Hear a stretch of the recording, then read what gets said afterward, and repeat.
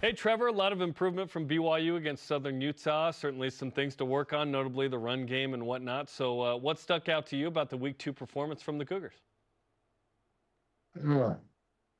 I hope they were looking ahead to Arkansas because it, it started out so slowly. Now, they, they picked it up, they got the win, the passing game returned.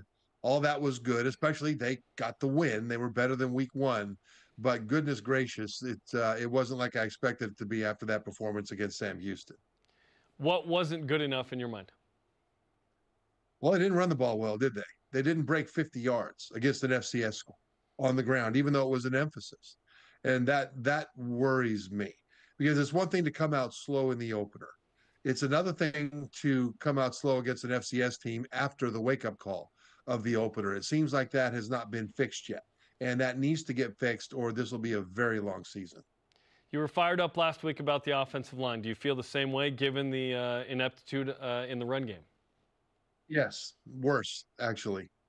Uh, it's it's just watching them play. It's um, I think disappointing.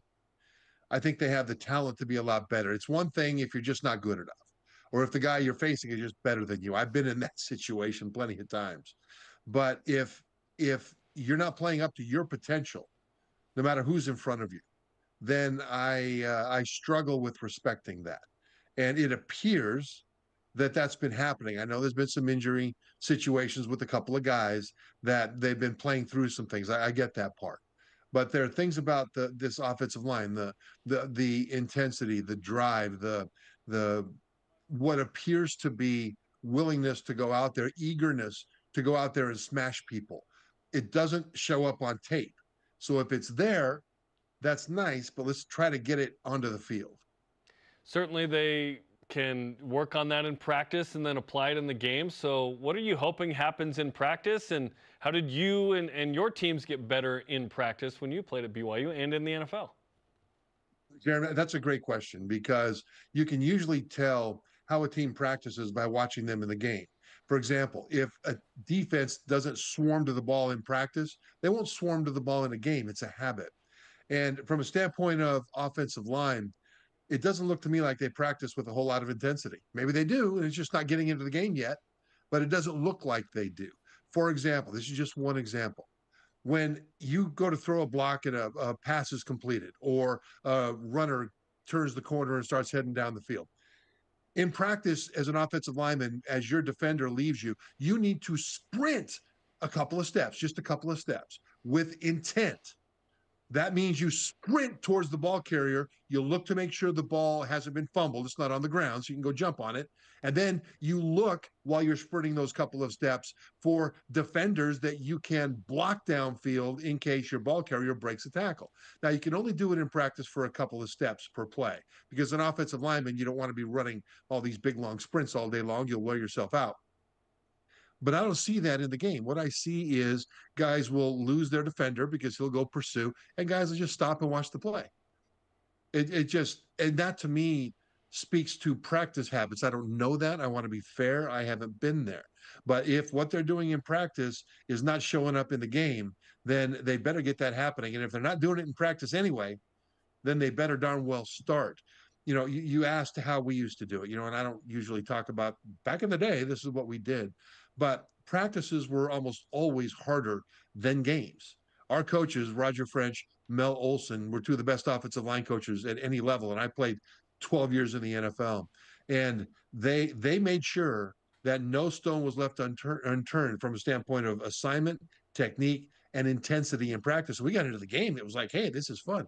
Plus, we had really good defensive players. Brad Smith was our nose guard, and I had to fight like crazy in practice just so that he wouldn't embarrass me because he was an outstanding football player. And so there was great intensity in practice. You never took a single rep of a single drill off. You were going hard. And when you needed rest, the coaches made sure you had the rest. And that showed up in the game. It's one of the reasons why we we won the national championship. And so I want to see evidence that the offensive line is practicing that way. Get into the game. I need to see that because if, if they don't do that, then the other guys on that offense are going to be playing behind a line that's not giving them a fair opportunity. Aidan Robbins uh, has 10 carries for 29 yards through two games. Uh, he didn't have a carry after the first quarter on Saturday.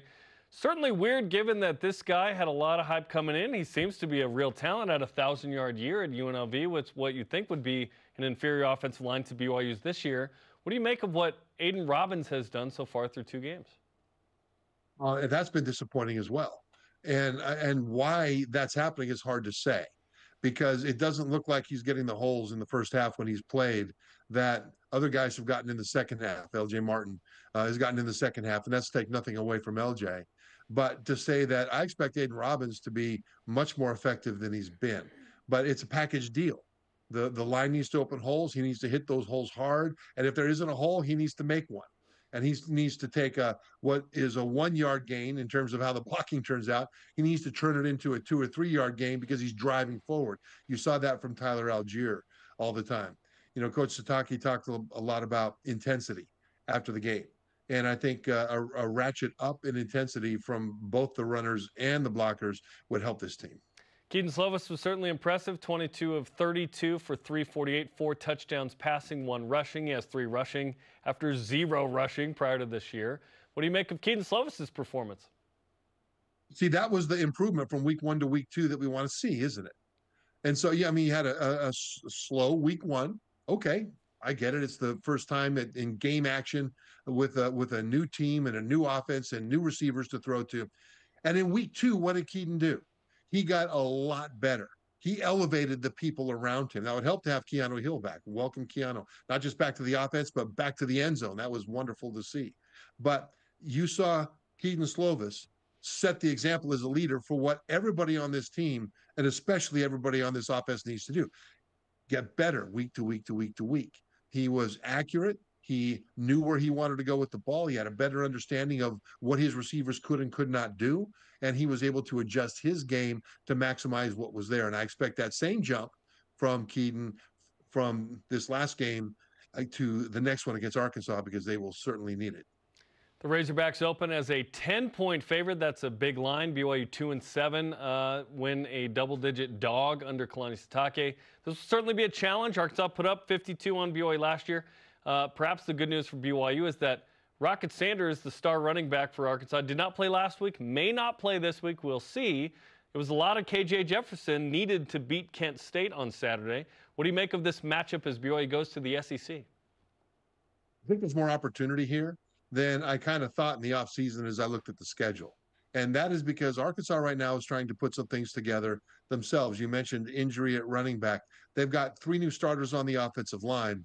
And last week against Kent State, they rotated through multiple guys to try to figure out their best offensive line. They didn't run the ball very well against Kent State.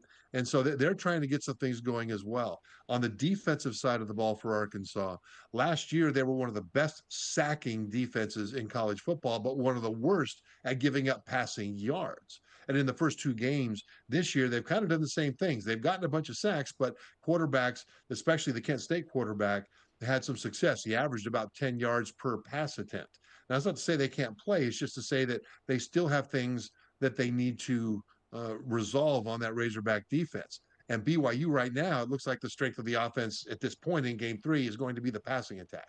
So the offensive line needs to be able to develop a running game because so much of what BYU's passing attack does is off of play action. But at the same time, there seems to be a bit of a vulnerability that BYU's offense might be able to exploit. And then on the offense uh, of Arkansas, main focus for BYU's defense has to be contain Keanu Hill on the ground, slow down the pass rush, keep him in the pocket, make sure that he has to to throw the ball from the pocket to beat you. Don't let him out to be a runner because if that happens, it'll be a long day. And it was a long day last year. Hopefully, it's different this year. In the NFL, some notable standouts among the Cougars. Tyler Allgeier with two touchdowns was awesome, but Puka Nacua stole the show. I don't know how many fantasy waiver wires he's going to be in, but it's going to be a lot. 10 for 119, Trevor. That was quite the debut. Yeah, and it was a perfect storm for him. First of all, he's got the goods, right? I mean, we know he's that good at making plays and a versatile playmaker. But keep this in mind, too that Rams quarterback Matthew Stafford's favorite receiver, Cooper Kupp is out for a month on injured reserve.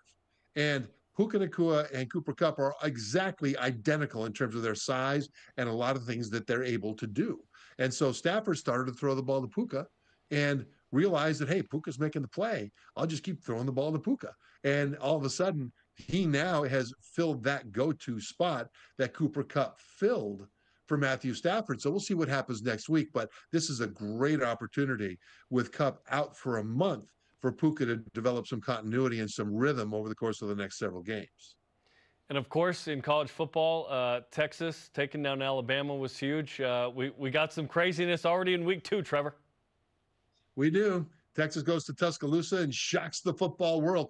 And it wasn't really that much of a shock for those who watch Texas. I mean, Texas has built line of scrimmage on both sides of the ball to compete at an SEC level. And you saw that against Alabama. Alabama wanted to physically pound Texas. They tried, they couldn't do it. And then you've got Colorado and Coach Prime, where brashness and and confidence beyond belief has stepped up to the forefront to take the college football world college football world by storm as well. It's been an exciting start to the season for completely opposite reasons. Teams you love, teams you hate, coaches you're not quite sure what to think of. And I think all of it is, has began with so much wonderful drama, and it's just been a lot of fun. Football, it's the best, man. Trevor, we appreciate the time. Best of luck this week. Thanks, guys.